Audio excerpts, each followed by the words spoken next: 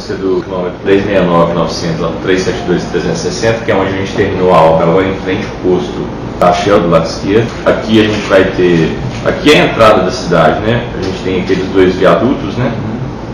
Antes do viaduto, do primeiro viaduto, a rodovia vai sair para a esquerda, então, que é esse passado em pista dupla. É, e nesse ponto aqui vai ter um, uma saída sentido Belo Horizonte.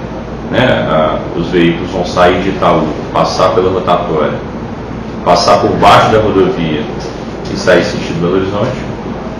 Ou quem chega de São Paulo pode entrar no município fazendo esse contorno, pegando a rotatória e vindo para cá. Quem quiser vir de BH sentido o a cidade de Itaú é só passar direto na rodovia antiga, vai virar uma via local, né.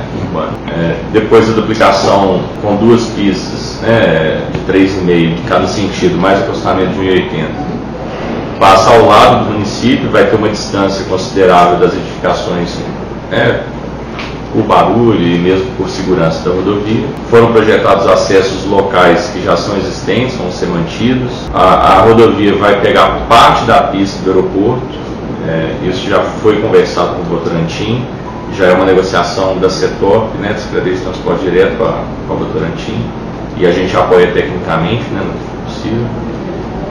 E um pouco depois do, do aeroporto é construído um outro trevo em dois níveis, com duas rotatórias, é, para permitir todo tipo de manobra. Quem chega de São Paulo né, pode passar por baixo da rodovia, acessar Itaú, quem chega de Belo Horizonte também consegue, pode fazer retorno nesse trecho. Né? Enfim, permite todos os tipos de manobras de entrada e saída do município nesse ponto também.